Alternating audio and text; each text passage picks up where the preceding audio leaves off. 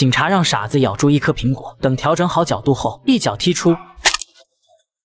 傻子被吓得瑟瑟发抖，但显然他们做的都有些多余了。想要让一个智力低下的人认罪，你只需要给他一份认罪书和一台印泥，他自己就会乖乖的玩起来。等按下认罪书后，警方便迫不及待的带他还原现场。也就是在这里，一个女孩惨遭杀害，身体以一种诡异的姿势趴在了栏杆边上。现场没有太多线索，警方只找到了一颗球，一颗阿伟经常玩的高尔夫球，不需要过多的验证，因为在警察心里，阿伟一定就是那个凶手。为了怕他不够想，警方还会贴心指导，确保在还原现场时。他举起的沙袋能精准打到假人。被带上楼时，他还会笑着和众人打起招呼。或许长这么大，也是头一次有这么多人陪他玩。在一次次的动作纠错中，阿伟这才成功将假人放对了位置。群众们深信不疑，可只有母亲在急忙发着传单，试图告诉人们儿子根本不可能杀人。然而，大家不是拿着当扇子用，就是放头顶上挡太阳。没人关心着阿伟是不是真的杀了人。看来，想要帮儿子脱罪，还是得从源头上想想办法。于是，母亲来到灵堂，在宽慰死去的女孩时，更希望得到家属们的原谅。可惜，迎面而来的却是对方的发泄，以及一个大大的巴掌。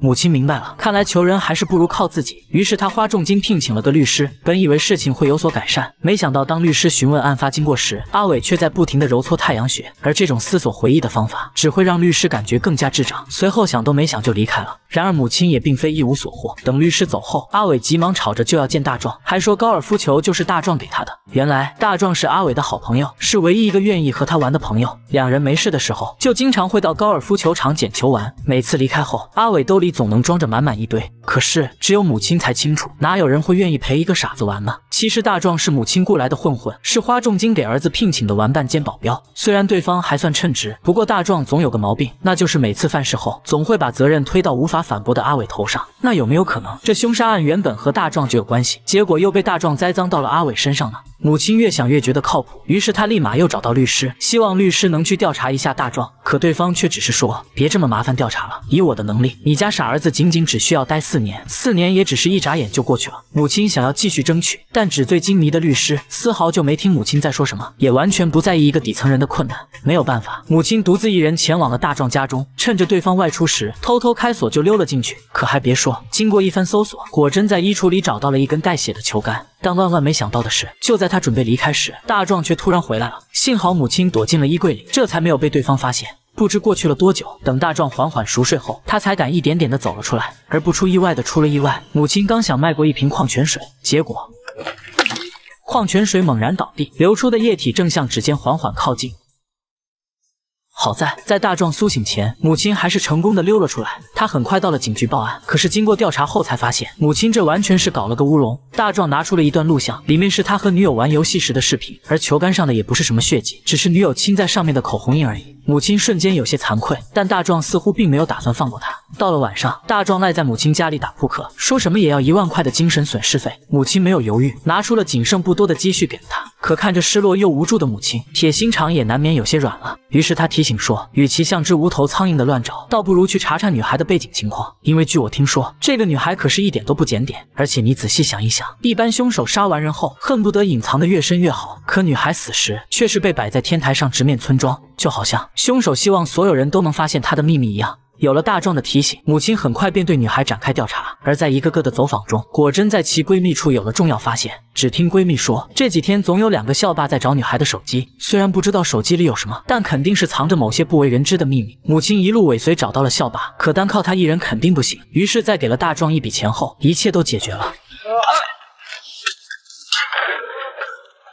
根据校霸所说，其实他们找手机完全是为了删掉里面的照片而已。因为谁也没想到，表面看似乖巧的女孩，背地里却是十分的阴暗。女孩一年里交往了三百六十六个男友，并且每交往一个，就会找对方索要一袋大米。起初大家都以为是因为女孩家里太穷，要大米也不过是缓解奶奶的生活压力罢了。不过男友们只猜对了一半，在每个人的交往中，女孩都会偷偷拍下照片，以此进行后续的长期勒索。想必这才是被人惨遭杀害的关键。母亲似乎看透了一切缘由，她当即找到了女孩家里，只要能找出手机，说不定就能挖出凶手的照片信息。而也就在这里，母亲碰到了女孩奶奶，在连哄带骗，并给了一笔钱后，终于是找到了女孩被藏起来的手机。可是这么多的照片，到底谁才是凶手呢？母亲拿着照片一一和阿伟比对，也就在看到一个老头时，她突然有了些反应。阿伟依稀记得，在案发的夜里，他原本是顺着小路回家，女孩就在他的前面走着。或许是有些感到害怕，女孩突然躲进一旁小屋，示意着阿伟不要再尾随她。等阿伟走时，刚好看到一个老头也在附近，而这个老头正好就出现在了女孩的手机里。母亲对他也不陌生，这人是村里回收废品的，所以找起来也是十分容易。于是他假装成福利院的义工，趁机接近老头，想要挖出证据。看着对方谨慎的距离，母亲只好拿出看家本领，准备给老头来套全身针灸。或许是有被感动到，老头的话匣子也是越聊越深，甚至在这时，他还爆出了一个惊人秘密：在案发当晚，他确实是待在了旁边的小黑屋里，原本只是想在这休息一下，谁知此时一个女孩路过，就好像碰到坏人一般，十分害怕。而在他的身后，正是鬼鬼祟祟的阿伟。只听阿伟开口说：“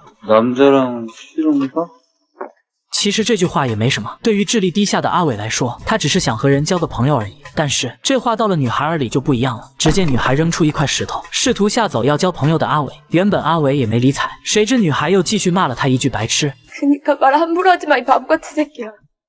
仅仅是一句话，瞬间就引爆了阿伟的内心，因为他生平最讨厌的就是被人骂作白痴。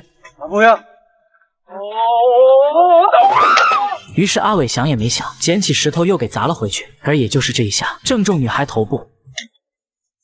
女孩死后，阿伟突然变得有些不知所措。他想打给谁，但是又不知道能联系谁。在反反复复过后，终于崩溃了。阿伟把女孩拖到了天台，因为在他的认知里，站得越高才能被人越早发现，才能更好的让女孩获得救助。只是当母亲听完老头的讲述后，整个人都变得激进疯狂。她怎么能想到自己坚信无辜的儿子真的是杀人犯？又怎么能想到自己苦苦寻找的凶手，最后竟然变成了一位目击者？母亲有些不敢相信。可谁知老头又说，他亲眼看到阿伟在杀完人后，做了一个揉搓太阳穴的奇怪举动。这下母亲是真的彻底信了。不过这个真相，警方恐怕永远都不会知道了，因为老头也不会想到，这位义工正是阿伟的母亲。就在老头背对之际，母亲竟抄起锤子，一锤就砸向了对方的后脑，怕他死的不够彻底，还疯狂的补上了几下。哎呀，哎呀然而等疯狂过后，更多的却是对眼前的恐惧。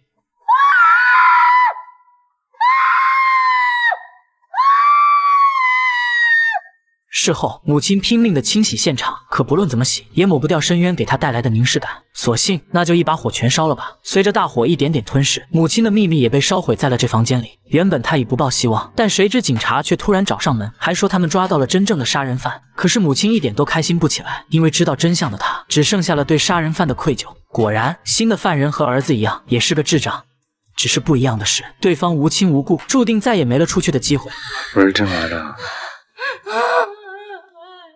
母亲一句话不敢说，或许只有她的闭口才能为儿子换来出狱的机会。而在接下来的日子里，母亲再也没见效果。恐怕只要看上儿子一眼，她总想起那陌生又罪恶的自己。于是母亲做了个决定，那就是将阿伟托给大壮照顾，自己则去外地旅游一阵。想必通过换换心情，罪恶感也就能少上许多。可万万没想到的是，就在出发前的一刻，阿伟竟掏出了一个罪恶之物。原来，在他出狱后，刚好和大壮路过老头的废墟，在几人停留过程中，阿伟发现了这套被母亲遗留的针灸盒，他还给了母亲，却也将罪恶都全部清还。现在好了，即便是待在热闹的大巴车上，母亲却始终逃避不了内心的挣扎。于是，母亲做了一个决定，她抽出银针，扎在了一处可以忘掉一切烦恼的穴位上。或许有的时候，当个傻子也挺好的。